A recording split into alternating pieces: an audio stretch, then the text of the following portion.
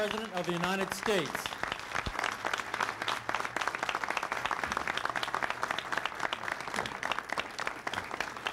Thank you very much.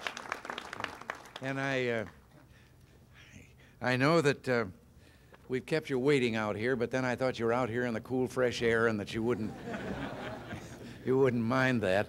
The, it's a privilege to welcome the merchants of America to the White House, and uh, you're the no-nonsense people who end every day by examining the bottom line. You understand the risks and the rewards of investment Incentive is a tool of your trade, and you get ahead by banking on your faith in the American people.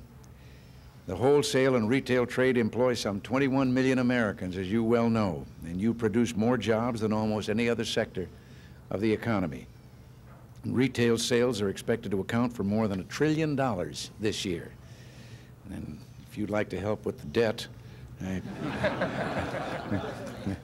but believe me, I'm glad to see you. You've been steadfast in your support of our program for economic recovery, and we in this administration understand that no plan can help our economy unless America's retailers are part of that plan. These gentlemen up here who've just been in the office with me there before they came out here have assured me of cooperation in continuing along the course that we started last year.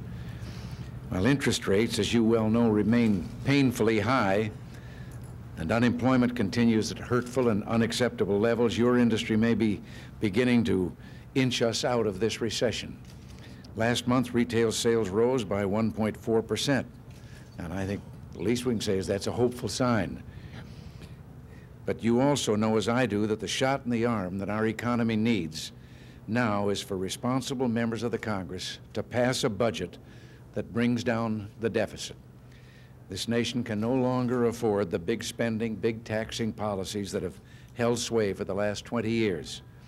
Deficit spending and strangling taxation created runaway inflation, sky-high interest rates, and these unacceptable rates of unemployment. I think we've finally gotten through to the big spenders. Most of them now actually say out loud that deficits are bad. And uh, Unfortunately, they seem to think the American people caused the deficits by not paying enough taxes. Well, I've got another message for them from the heartland. We don't have a trillion dollar debt because we don't tax enough. We have a trillion dollar debt because government spends too much. Simply raising taxes won't do the trick.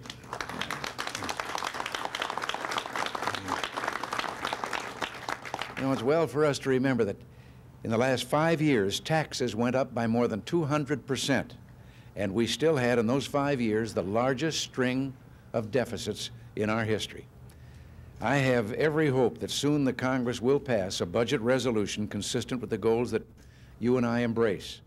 And I still believe there are responsible members of both parties who place more importance on the economic health of this nation than on short-term political gain. If together we can both hold down taxes, and cut spending, and if we can finally get control of that budget monster, then I believe a strong and lasting recovery isn't far away. I thank you for coming today and for your help in our effort to return fiscal sanity to Washington. Your efforts have been key to our success so far. I'll rely on you both as stalwarts of our economy and keepers of the faith as we meet the challenges that are still ahead. Just a little while ago in one of the meetings that delayed me and got us off schedule here, Jim Watt of the Department of Interior just gave me a little display. I took it off before I came out here. It's a lapel button.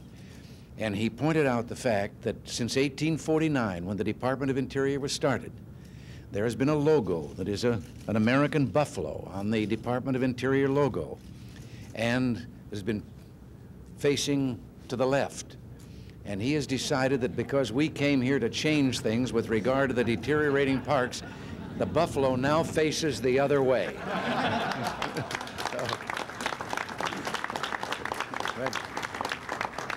well, I have to duck back in there for the rest of that other meeting, but I'm going to turn you over to Secretary of the Treasury Don Regan for your questions that I know you will have and uh, for additional remarks that'll inspire you also to carry on with us with regard to getting this budget reduced.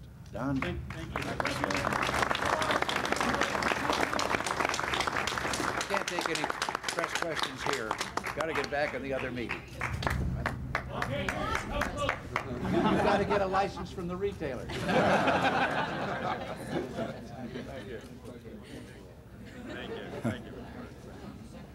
Well, ladies and gentlemen, uh, there's not much you can add to a presidential statement, uh, but uh, perhaps uh, in the interest of a few discussions, you're